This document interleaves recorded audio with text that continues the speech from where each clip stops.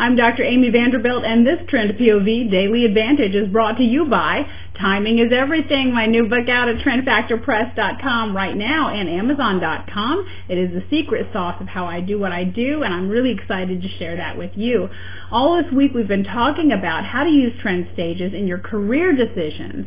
Our final tip of the week is to use trend stages when it comes to career moves, leaving an industry, entering a new industry, leaving a company, or entering a new company. Sometimes companies are trends in and of themselves, aren't they? So when you're going to make these moves, you've got to link it to your personality. Are you a startup junkie? Then look for something in stage one. Uh, do you like kind of that rapid growth? look for stages three and five. Try to look for the beginning of those stages. Companies and industries and products that are uh, are really driven in the beginning of those growth stages. If you prefer stability, then stage seven of longevity is for you.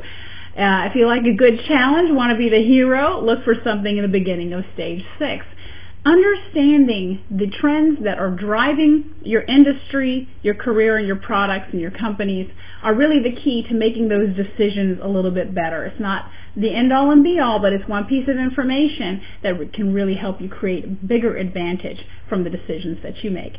Thanks for joining us here all week. Make sure you catch the show today where we'll go quite in depth on this topic. And for more daily advantage, we'll see you right back here at trendpov.com.